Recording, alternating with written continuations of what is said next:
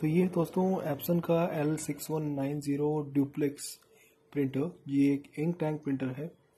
और इसको हमने एप्सन के एल सिक्स फाइव फाइव के बाद लिया था। ये कुछ एक स्नैपशॉट्स हैं, जब हम इसको ओपन कर रहे थे तब शेयर करने के लिए। तो इस बॉक्स के अंदर आपको प्रिंटर सीडी मैनुअल इसमें मिलेगा। और ये इंस्ट्रक्शंस है कैसे आप इंक टैंक के अंदर इसमें इंक भर सकते हैं। ये देखिए, जैसे मैं बी एप्सॉन 100 में ब्लैक इंक भर रहा हूँ। जो सबसे ख़ास बात है इस इस प्रिंटर की, ये का कि ये काफ़ी छोटा और पोर्टेबल है आकार में। जो उसका इंक टैंक है जो आप, अभी आप देख रहे हैं, ये अंदर की तरफ़ बना हुआ है, बजाय एल सिक्स फाइव फाइव के, जिसमें पहले इंक टैंक बाहर की तरफ़ बना हुआ था।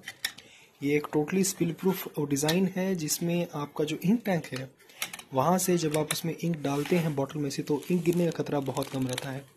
ये मैं एक आपको हल्का सा इसका दिखा रहा हूँ, ये आपका सीरियल नंबर यहाँ पे मैंशन है।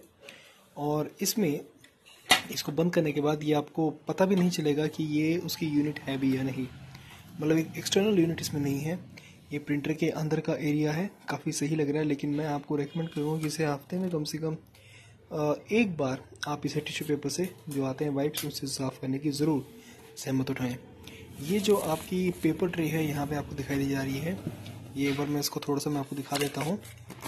इसके पीछे, इस पेपर फ्रेल के पीछे आपको मिलता है ये स्टार्ट का बटन होम बटन कॉलिंग का बटन और ये आपका टच स्क्रीन है। कॉलिंग का बटन इसमें ये है कि जब आप अपने वाईफाई डायरेक्ट को कॉल कर रहे हैं, ये है आपका आउटपुट ट्रे जहाँ पे आपकी आउटपुट आएगी प्रिंटर की और ये जो जो सबसे खास बात है, ये है इसका इनपुट ट्रे यहाँ पे आप अपने पेज को डाल सकते हैं और पेज निकल कर बाहर वाली ट्रे पे आ जाएँगे।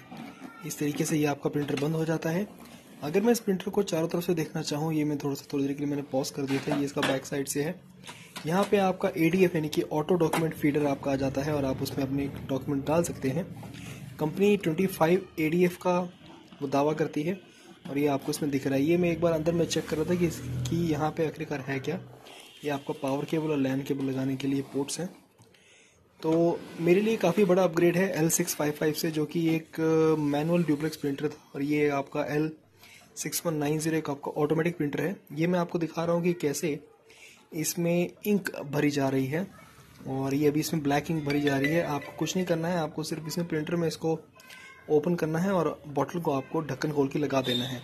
बजाय पहले जब पहले आप उसको खोलते थे और आप ये कोशिश करते थे कि प्रिंटर की जो इंक है वो आपके हाथों में ना लग जाए। अगर आप, वो नहीं देखे हैं तो मैं आपसे गुजारिश करूँगा कि थोड़ा सा वेट करें या फिर आप किसी और भी प्रिंटर में जो एल सिक्स फाइव फाइव है, आप वहाँ पे देख सकते हैं कि किस तरीके से इंक डाली जाती थी। मुझे थोड़ा सा समय लगेगा क्योंकि मेरे पास जो वो पुराना प्रिंटर है, मुझे एक बार उसमें आपको इंक डाल के दिखाना पड़ेगा। अगर आप देखेंगे तो इंक काफ़ी स्पीड से भर गई थी बिना किसी स्पिल के, बिना किसी समस्या के। और ये रियल टाइम में करना इसलिए ज़रूरी थी ताकि आपको एक आइडिया लगा रहे कि किस तरीके से इंक भरी जाती है। ये देखिए, ये आपका नो स्पिल वो टेक्नोलॉजी है।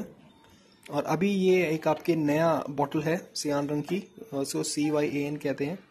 मैं अभी आपको इसको ओपन करके दिखा रहा हूँ। और यहाँ पे पूर्णतः बल का प्रयोग। पता नहीं आज ही आज ही खुल जाएगी या नहीं। और ये लीजिए, शुक्र है। इस बची हुई, और ये देखिए, ये जो आपका है, ये आपको डायरेक्टली आपको उसके लगाना है। मैं इसमें ज़ोर लगा रहा हूँ या अगर मैं इसको नीचे अगर मैं कर भी रहा हूँ तो भी इंक बाहर नहीं आ रही। ये सबसे खास बात है।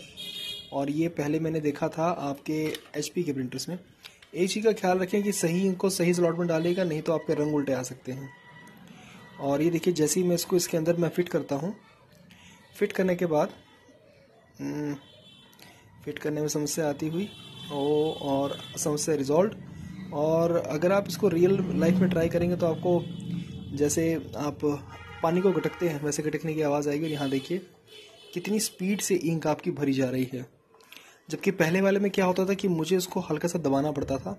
अच्छा एक चीज़ और कंपनी की तरफ़ से कहा गया है कि अगर आप इसे दबाएँगे नहीं तो अच्छा रहेगा बिकॉज़ इसको प्रेस करके कई लोग कोशिश करते हैं कि इंक जल्दी भर जाए। उसमें दिक्कत ये रहती है कि बबल्स भी आ सकते हैं और बबल्स फिर बाद में दिक्कत करते हैं। और ये देखिए आप कि कितनी जल्दी ये आपका भर गया है।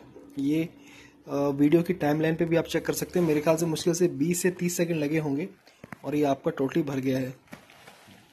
और आज, माफ़ कीजिएगा, मैं उसकी वीडियो नहीं बना पाया बिकॉज़ आज मैं थोड़ा सा बिज़ी था, लेकिन मैं बहुत जल्द मैं आपको एक लाइव डेमो करके दिखाऊँगा कि कितनी स्पीड से ये डुप्लेक्स प्रिंट करता है।